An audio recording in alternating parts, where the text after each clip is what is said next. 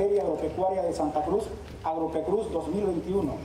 Estamos aquí presentes en FECPO Cruz en representación del Ejecutivo, propiamente del alcalde municipal Johnny Fernández, porque creemos de que tiene que existir un equilibrio ¿no? entre las medidas sanitarias, los cuidados que debemos tener en esta COVID eh, y también tratar de que algunos sectores o rubros de la economía pues sigan eh, continuando con sus actividades, ¿no? obviamente en cumplimiento de todas las normativas que hemos emitido, pero eh, sin lugar a dudas que la economía debe persistir, tiene que ser resiliente frente a esta crisis sanitaria y ese es el mensaje que venimos a transmitir en esta tarde.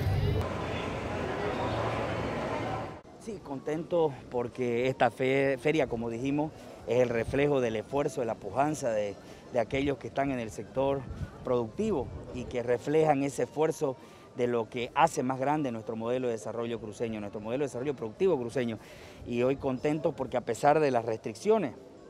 y la pandemia que nos trae, este sector sigue firme, a pesar de lo que ha golpeado la economía, este sector sigue trabajando por Santa Cruz y Bolivia y han sido y son y seguirán siendo el ejemplo de todo lo que es el esfuerzo y la pujanza de nuestro sector ante el mundo entero.